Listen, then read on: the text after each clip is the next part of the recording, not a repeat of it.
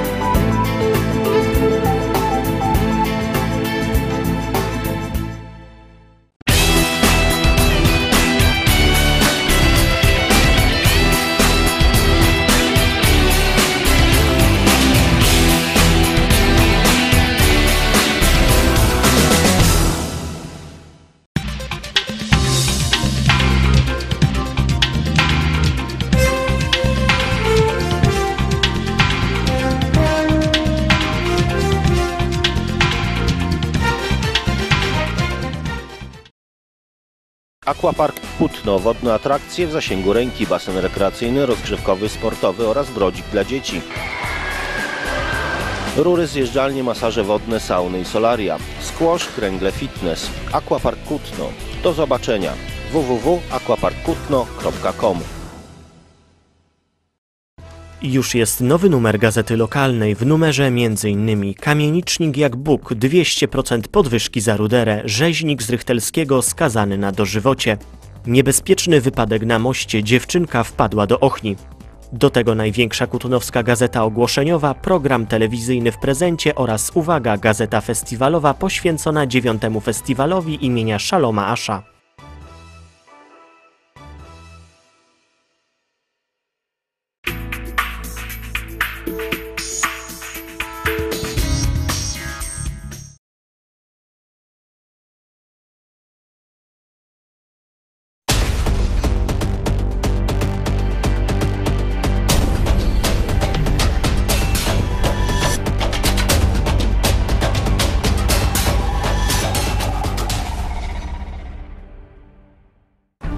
Drodzy wyborcy, od lat jestem blisko Was. Znam Wasze problemy i zawsze możecie na mnie liczyć. Kamera stop. Mamy. Można wiele obiecać, jednak nic z tym nie zrobić. Ale czy rzeczywiście o to chodzi? Aby skutecznie działać, przede wszystkim trzeba umieć słuchać.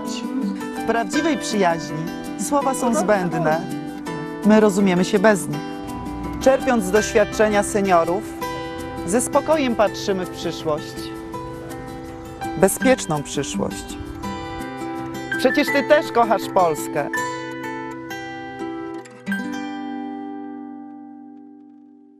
Danuta Ewa Zakrzewska, kandydatka do Senatu RP. Dlaczego do Senatu? Ponieważ chcę zapewnić równe szanse rozwoju dzieciom i młodzieży, godne życie osobom starszym i potrzebującym pomocy. Zamierzam brać udział w tworzeniu dobrego prawa w najlepszym interesie regionu i kraju. Kompetencje i doświadczenie pozwolą mi aktywnie uczestniczyć w działalności Senatu. Dziękuję za zaufanie i każdy oddany na mnie głos. Danuta Ewa Zakrzewska. Materiał sfinansowany przez KW Platforma Obywatelska RP.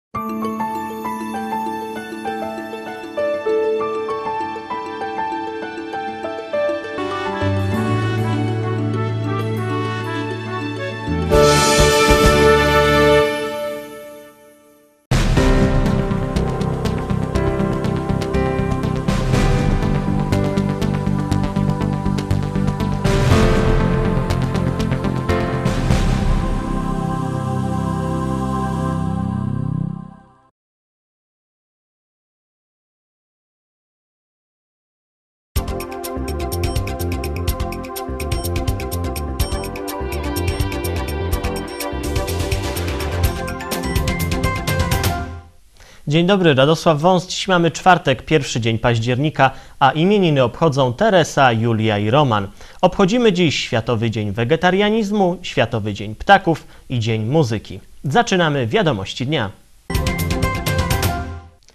Jednym z ostatnich elementów, jakie miały powstać w ramach systemu identyfikacji miejskiej, są witacze przy drogach wjazdowych do miasta. Wstępnie zaplanowano ich rozmieszczenie m.in. na ulicy Łęczyckiej, Łąkoszynie, Krośniewickiej czy też w okolicy akwaparku. Witacze, tak jak tabliczki na budynkach czy znaki kierujące, nawiązują wyglądem do hasła promującego miasto Kutno Róż, a ich montaż jest właśnie w toku.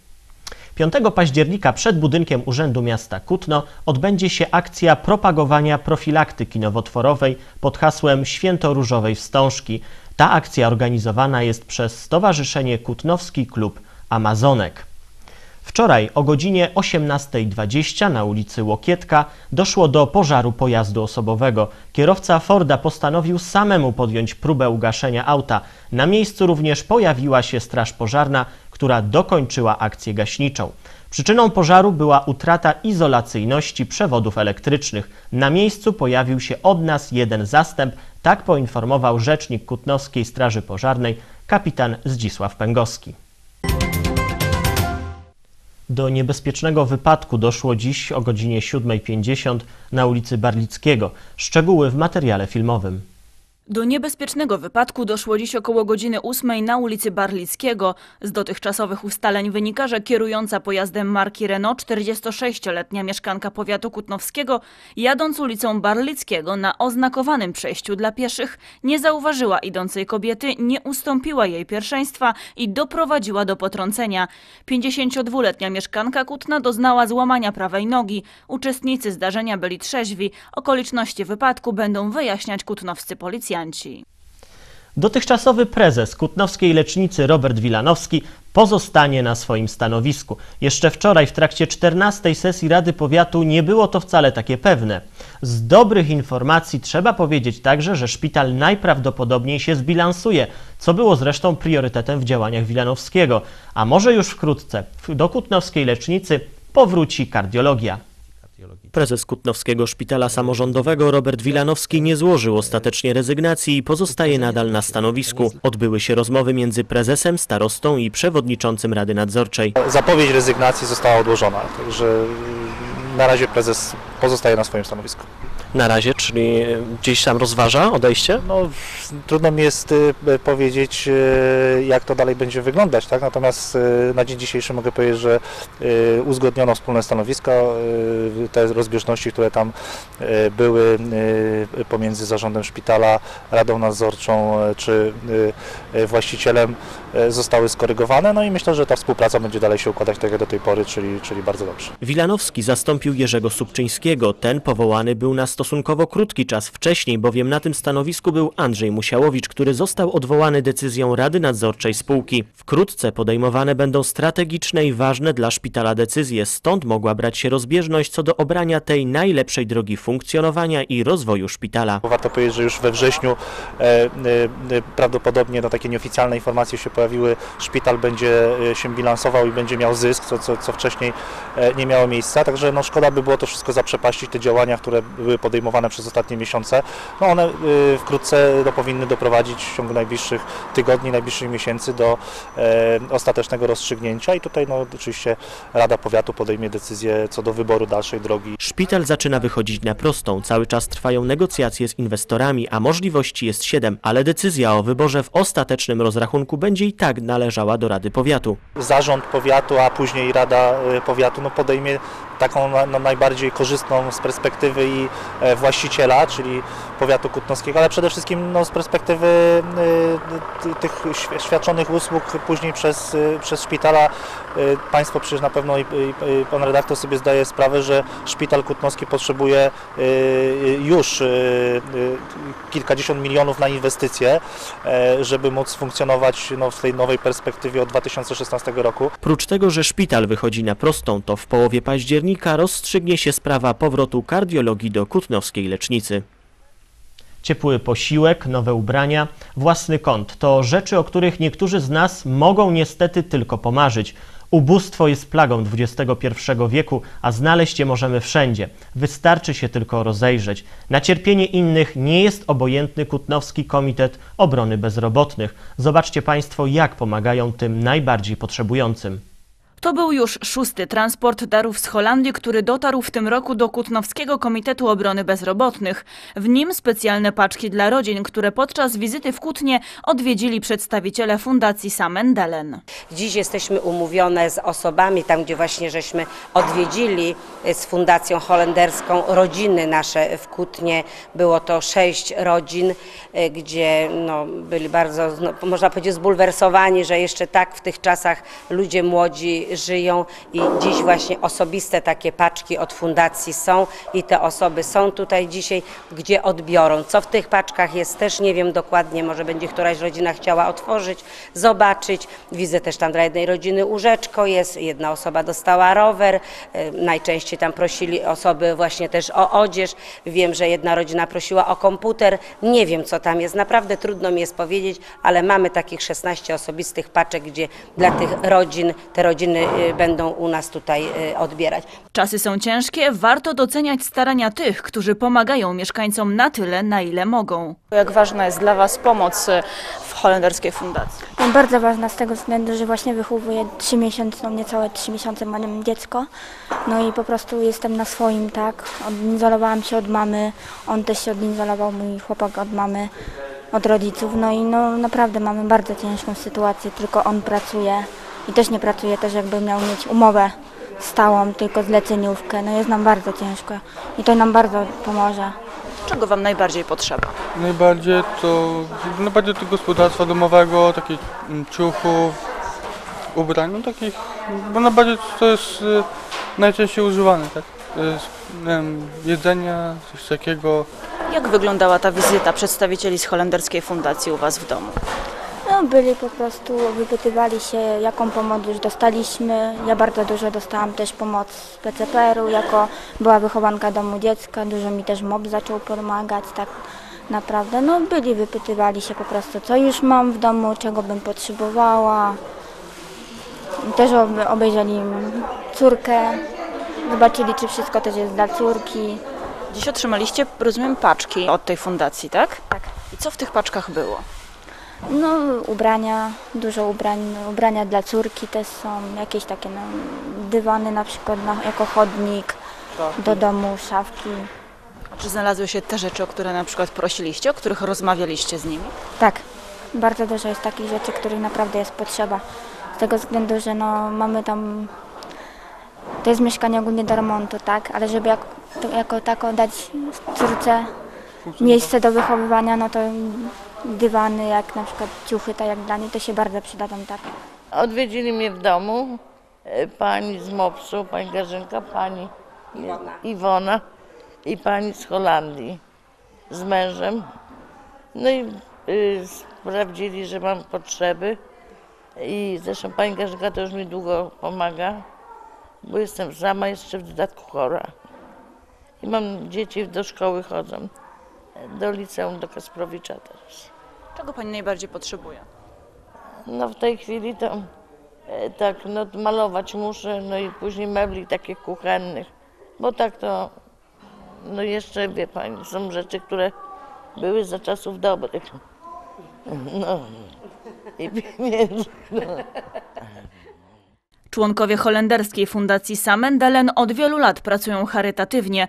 Pomagają głównie najbardziej potrzebującym, rodzinom wielodzietnym, matkom samotnie wychowującym dzieci i osobom niepełnosprawnym. Otóż tak się złożyło, że miałem to szczęście 15 lat temu nawiązać kontakt z Fundacją Holenderską, yy, która w polskim tłumaczeniu nazywa się Dzielić Razem. I od tego czasu z Fundacją utrzymujemy ścisły kontakt. Taże fundacja obdarowuje potrzebujących licznymi darami. Stowarzyszenie Bezrobotnych robi wszystko, żeby tych najbardziej potrzebujących zaopatrzyć w te niezbędne dla nich przedmioty, produkty.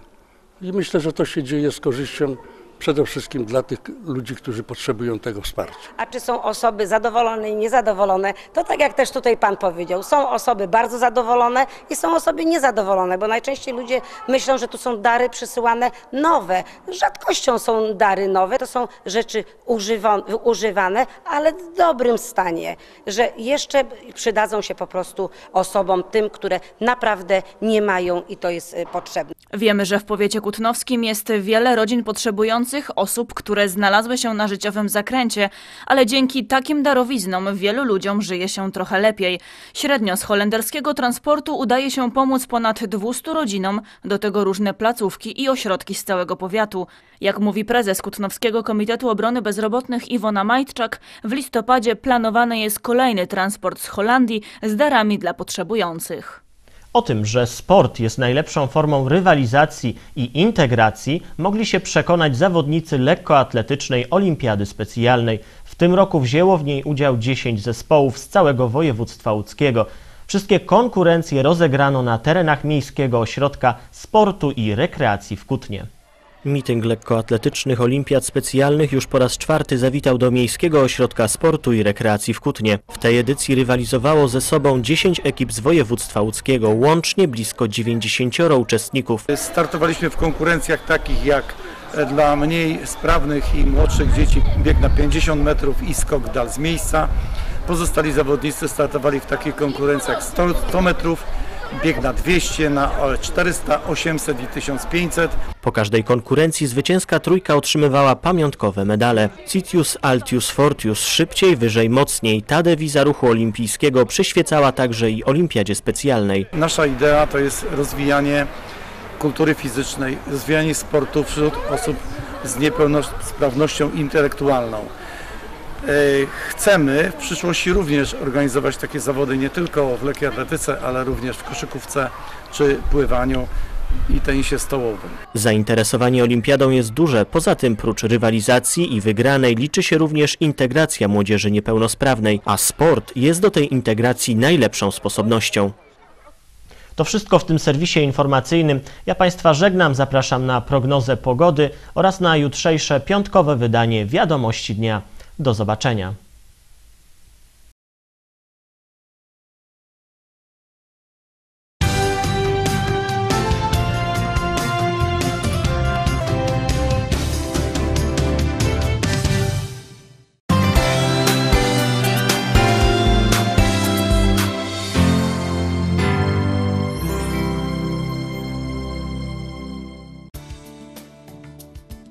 W nocy bezchmurnie, temperatura 5 stopni w całym regionie, ciśnienie wyniesie 1018 hektopaskali.